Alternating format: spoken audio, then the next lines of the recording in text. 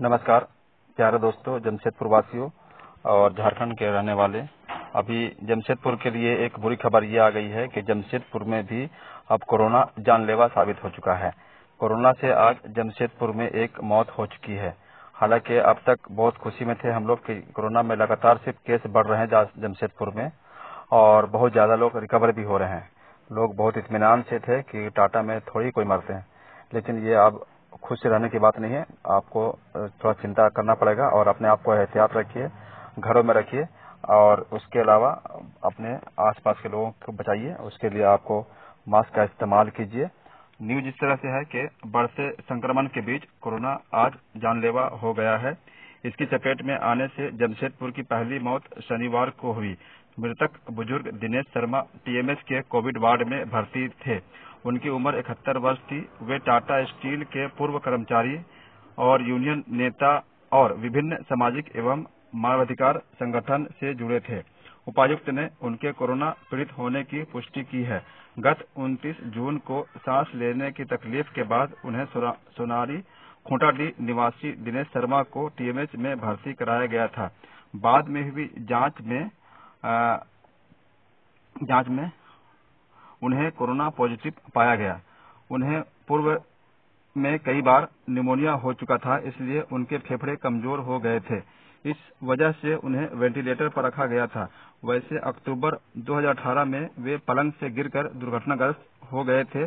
इस घटना में उनकी रीढ़ की हड्डी टूट गई थी, जिससे उनके शरीर का निचला हिस्सा लकवाग्रस्त हो गया था। उनके अन्य परिजनों के, उनके जाने के बाद रविवार को सुबह प्रशासन की देखरेख में अंतिम संस्कार होगा। पूर्व सिंहभूम जिला राज्य में कोरोना मरीजों के मामले में पहले नंबर पर है। ज़िले में अब तक चार सौ पैंसठ लोग संक्रमित हो चुके हैं और ये पहला मौत भी हो चुका है और झारखंड में भी लगातार केस बढ़ते चले जा रहे हैं। ढाई हज़ार के लगभग केस हो चुके हैं झारखंड में और उसके अलावा झारखंड से बाहर की बात करें तो ऑल ओवर इंडिया में भी लगातार केस बढ़ते चले जा रहे हैं। साढ़े छह लाख से ज़्यादा लोग इंडिया में कोरोना पेशेंट हो चुके हैं और उसके अलावा टोटल इंडिया में अठारह हज़ार से ज़्यादा मौतें हो चुकी हैं। पूरे दुनिया की बात करें तो वर्ल्ड में भी लगातार कोरोना केस काफ़ी तेज़ी से बढ़ रहा है, और एक दिन में पूरे दुनिया में दो लाख नए केस बढ़ते चले जा रहे हैं। और अब तक पूरे दुनिया में एक करोड़ बारह लाख कोरोना संक्रमित लोग हो चुके हैं। जिसमें से साढ़े पाँच लाख से ज़्यादा लोगों की मौत हो चुकी है। नंबर वन पर कोरोना केस के मामले में अमेरिका है, जहाँ पर 28 लाख से ज़्यादा लोग कोरोना पेशेंट हैं। नंबर दो पर ब्राज़ील है, जहाँ 15 लाख। नंबर तीन पर रशिया है, जहाँ पर लगभग पौने सात लाख। और नंबर चार पर इंडिया, जो साढ़े छह लाख पर है। लेकिन जैसा इंडिया का स्पीड हर दिन अभी बीस बाईस हज़ार लोग इंडिया में कोरोना केस बढ़ रहा है तो ये ऐसा लग रहा है कि कल शाम तक इंडिया नंबर तीन पर आ जाएगा। पूरी दुनिया में। तो ये अच्छा बात नहीं है, चिंता की बात हो रही है और इंडिया में ऐसा केस बढ़ रहा है तो बहुत जानलेवा होने का अंदेशा भी दिख रहा है। अपने आप को बचाइए, सुरक्षित रहिए लॉकडाउन का पालन कीजिए मास्क का इस्तेमाल कीजिए। जब भी घर से बाहर निकलिए तो बिना मास्क के बाहर मत निकलिए।